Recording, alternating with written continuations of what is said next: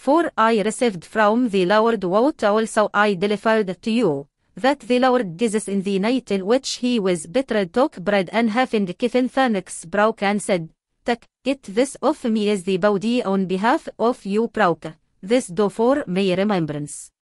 In the same way in the cup, after the second, send, this cup the new covenant is in my blood, this do, as often as you drink for my remembrance. For as often as you eat bread this, and cup this drink the death of the Lord you declare, until he may come.